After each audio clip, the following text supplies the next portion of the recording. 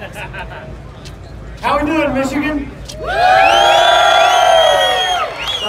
honestly, it looks like, hey, I love these little tracks. Thank you guys for coming out, and uh, obviously we got some Street Outlaw fans here. So, me and my buddies are over there getting our cars ready right now, so we're gonna come up here and make a few passes. Um, to let you know what's going on. Obviously, everybody knows the world's been closed.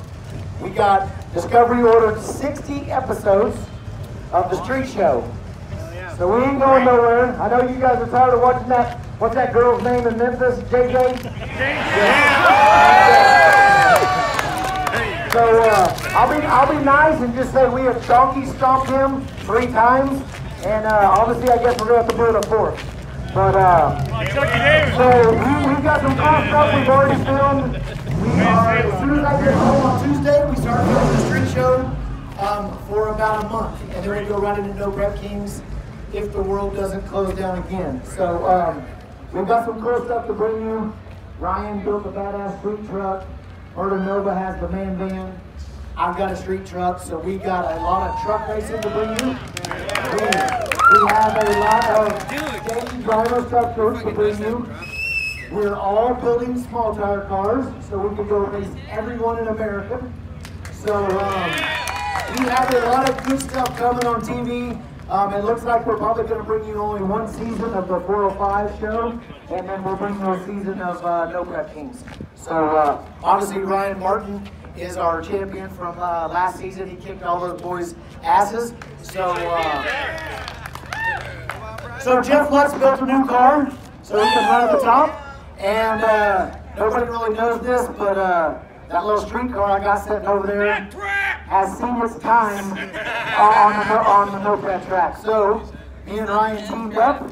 We put together another Fox body, just like that one, but uh, it has a bigger set of kahunas. So uh, it's time to step up, go faster, and uh, I've never been very good at losing, as, as you as you can see.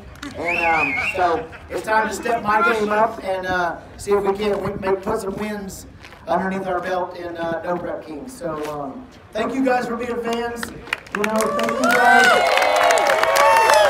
Thank you guys for watching us on TV. I mean, we are just, we're no different than you guys. I mean, we got up one morning, we raced cars, we love what we do, and then you guys, somebody put a camera in our face and and filmed what we do that we've been doing for the last 20 years.